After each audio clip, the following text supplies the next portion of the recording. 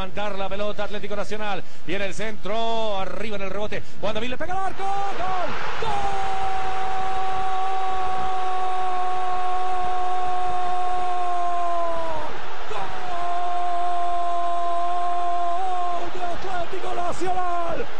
¡Qué pedazo de gol acaba de marcar Juan David Valencia! De primera y de sobre pique lo manda a guardar. El verde paisa tiene uno. La U de Chile cero. Un error en marca, mire. Perdieron la referencia del hombre que remató la pelota.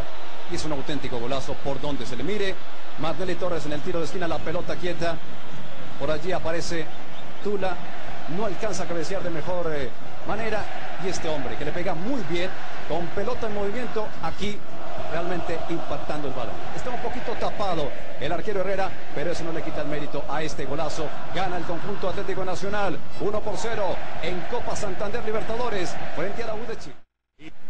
Atento Farid Díaz y más atento todavía Gastón Pesuti. Se levanta la Taracio Girardot de Medellín.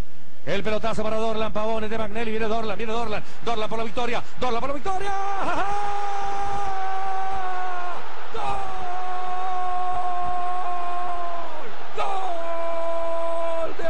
Nacional, Dorlan Pavón.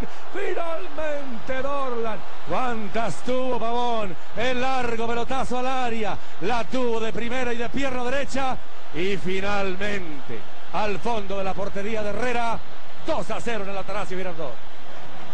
Y ese es Mandelli Torres, un hombre que se apaga, pero que en pasajes determinantes en el partido frota la lámpara. Y se encendió la lámpara y levantó la cabeza y advirtió el movimiento de Orlan Pavón y el espacio vacío lo dejó completamente habilitado. Aquí está el detalle, con sutileza, atacando la espalda del defensor. También el movimiento de Dorlan que es ideal, control de la pelota y después remate potente. 2 por 0 con argumentos gana Atlético Nacional frente a la U de